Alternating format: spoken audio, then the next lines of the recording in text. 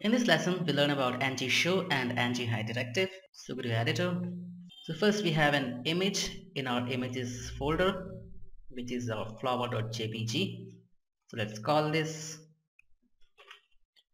img and it is located in our images folder and the name is flower.jpg. I save it and reload and we want to make a button above it. So button let it be our tag. And the label for the button is click me. Put one more br tag.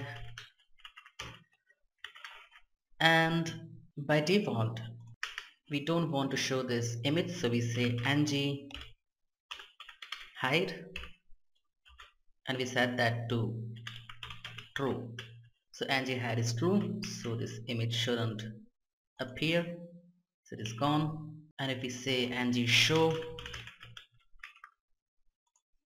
then it comes back.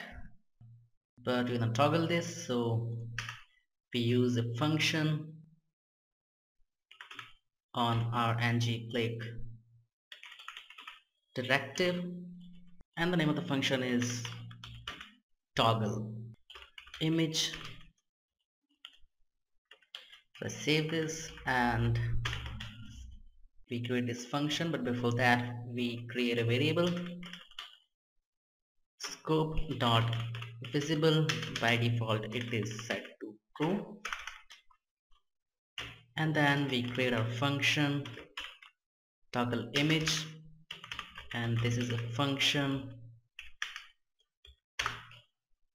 and whenever this function is called that means whenever this button is clicked then we want this variable to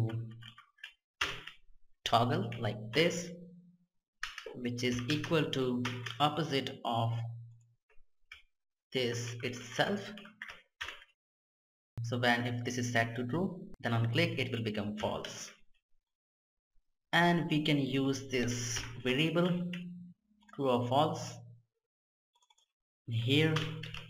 So this image will behave according to the value of this visible variable and its value we are setting by this function. So save this and refresh. So by default it's true.